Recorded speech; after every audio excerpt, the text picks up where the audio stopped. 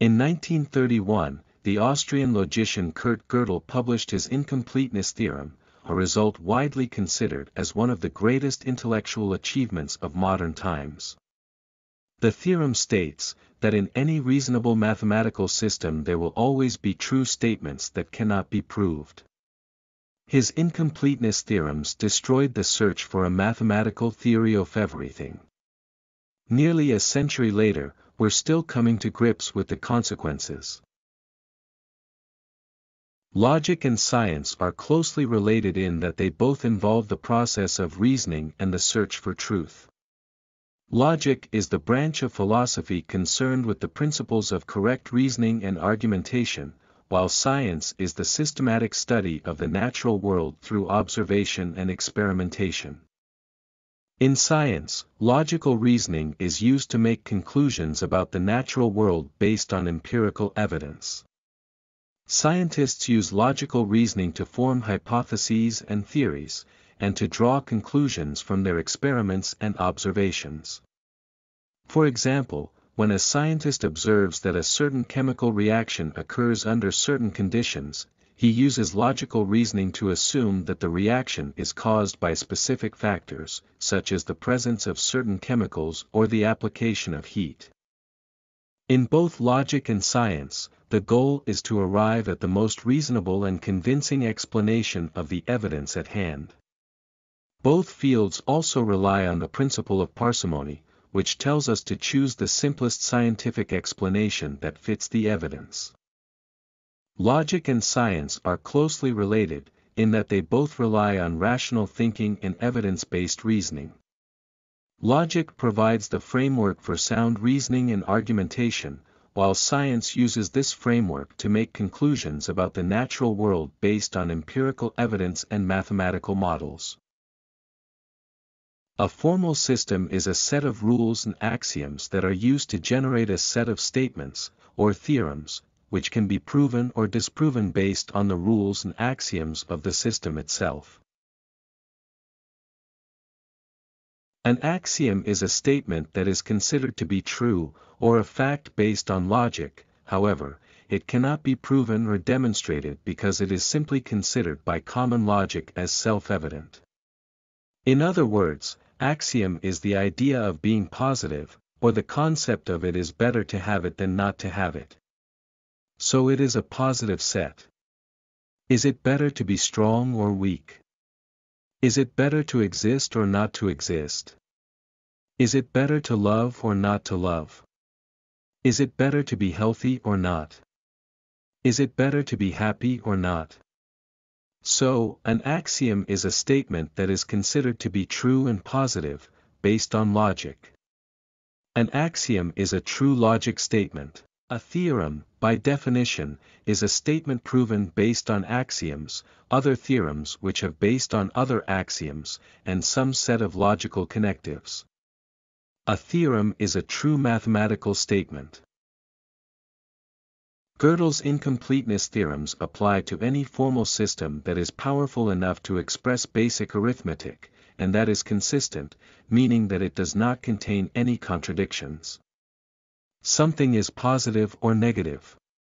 It can't be positive and negative at the same time. In his proof, Gödel used a technique called diagonalization, which allows him to construct a statement within the formal system that refers to the system itself. The six axioms that Gödel used as the foundation of his formal system are Number 1. The axiom of extensionality. Sets are identical if and only if they have the same elements.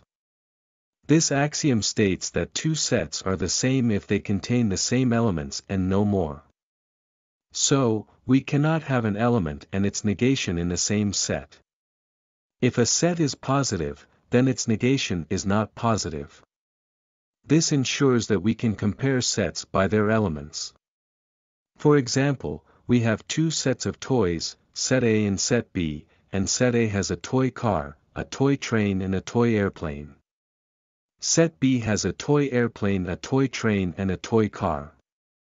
Even though the toys are arranged differently, both sets have the same toys in them, so they are the same sets. In other words, imagine two sets of good behaviors, one set has helping others and being respectful, and the other set has helping others, and being kind. These two sets are the same because they have the same behaviors in them. So, we cannot have a set with an element positive and negative together in the same set. Number 2. The axiom of pairing. For any sets A and B, there is a set AB whose only elements are A and B. This axiom states that for any two sets, there exists a set that contains only those two sets as its elements. For example, if we have two sets of toys, set A with a toy car and set B with a toy train, there is a set C that contains both A and B. In other words, imagine two sets of good behaviors, one set for kind behaviors and one set for honest behaviors. The axiom of pairing allows you to put both sets into a bigger set, and all the behaviors that were in the two smaller sets will still be good behaviors, even though they are in a new set. Number 3. The axiom of infinity. There is a set that contains 0 and the next inline number of every natural number. This axiom states that there exists a set that contains an infinite number of elements, including zero and all the natural numbers. For example, the set of all the natural numbers is an infinite set. In other words, imagine a set of good behaviors that can hold an infinite number of good behaviors, no matter how many good behaviors are added to it, it will always have room for more. Number 4. The axiom of regularity. Every non-empty set has an element that is not a member, is disjoined of the set itself, because it has no element in common. This axiom states that every set, except the empty set, contains an element that is not a member of that set. In other words, imagine a set of good behaviors, that has at least one behavior in it, that is not related to any of the other behaviors in the set. Number 5. The axiom of replacement. If a rule is given to replace one element of a set with another element, the resulting set will also be a set. Imagine you have a container with different good behaviors, and you want to make a new container of only the generous behaviors. The rule for generating this new container is to pick out all the degenerous behaviors from the container. Using the axiom of replacement, you can make a new container that contains only the degenerous behaviors from the original container. Number 6. The axiom of choice states that given any collection of non-empty sets, it is possible to make a choice of exactly one element from each set. For example, if we have a collection of non-empty sets of toys, like set A with a toy car, set B with a toy train and set C with a toy airplane, it is possible to make a choice of one toy from each set. Kurt Gödel's incompleteness theorems are two theorems proven by Kurt Gödel in 1931 that have significant implications for the philosophy of mathematics, particularly in regards to the concept of mathematical truth. These theorems show that any formal system that is powerful enough to express basic arithmetic, cannot be both complete and stable. First theorem. The first incompleteness theorem states that any consistent formal system that is powerful enough to express basic arithmetic must contain statements that are true but unprovable within the system. Second theorem. The second incompleteness theorem states that if the formal system is consistent, it cannot prove its own consistency. This statement, known as the Gödel sentence, is a self-referential statement that asserts that, it is not provable within the system. Because the formal system is assumed to be consistent, the Gödel sentence must be either true or false. But if it's true, then it's unprovable, and if it's false, then the formal system contains a contradiction.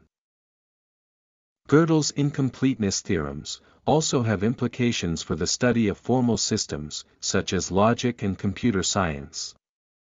They demonstrate that any formal system that is powerful enough to express basic arithmetic must contain unprovable statements, and thus it is impossible to create a formal system that is both complete and consistent. These theorems have been used to argue against the idea of artificial intelligence, as they suggest that it is impossible to create a computer program that can completely understand and model reality. Gödel's incompleteness theorems and quantum chaos theory are two separate areas of study that are not directly related. However, they share a common thread in their implications for our understanding of reality, and the limits of our ability to model and predict certain systems. These two theories demonstrate that there are inherent complexities and limitations in our understanding of certain systems, and challenge traditional beliefs about the nature of mathematical truth and the predictability of quantum systems.